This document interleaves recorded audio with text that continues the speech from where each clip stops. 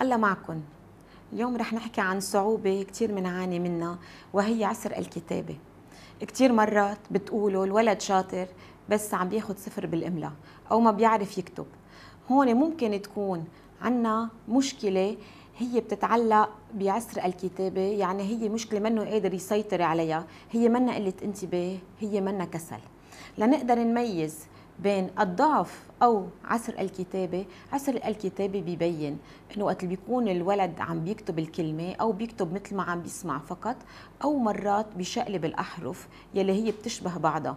يعني بدل ما يكتب آه ته بيكتب ده بدل ما يكتب نه بيكتب مه. هون نحن بنكون عرفنا إنه هالولد يمكن يكون عنده مشكلة بالسمع أو ممكن يكون في عنده عسر كتابة. لنقدر نحدد المشكلة من المهم نتوجه لعند اختصاصية وهي ممكن تكون مقومة النطق. هي ممكن تعمل له الامتحانات اللازمة الفحوصات اللازمة. لنأكد إذا عنده عسر كتابة أو الولد ما عم بيسمع منيح أو آه، نحدد المشكلة بضعف بالدرس هون بيكون مفروض يكون في عنده دروس للتقوية وممكن نساعده ليتخطى هالمشكلة. هيدي كانت نصيحتنا لليوم. منشوفكم بحلقة جديدة. انطرونا.